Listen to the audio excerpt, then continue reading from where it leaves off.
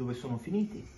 Sono nascosti in qualche tombino gli haters di Lautaro, quelli che lo chiamavano Verona Men o Salernitana Men.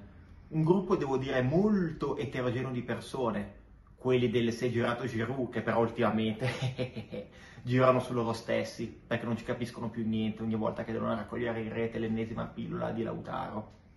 Oppure, perché no, una parte anche, per fortuna, minoritaria della nostra tifoseria, quella del, come dico sempre, dei cagadubbi, Voldemort, moriremo tutti, che guarda caso alla fine del primo tempo della partita di sabato spopolava liberamente nel web bestiame dei social, convinta che senza i gol di Lautaro sarebbe proseguita la striscia di non vittorie in campionato.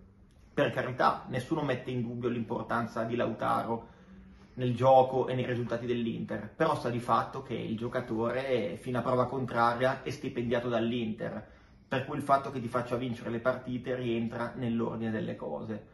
Oppure vogliamo creare un nuovo partito, dopo quello di maggio del se c'era Leao, o quello del se c'era Tomori di settembre, perché ho sentito dire a, da più parti che se ci fosse stato Tomori l'Inter non avrebbe avuto tutte quelle occasioni da gol, come se Tomori ultimamente contro Lautaro si fosse trasformato in Beckenbauer.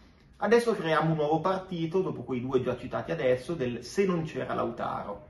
Perfetto. Complimenti, buon proseguimento di campionato a tutti.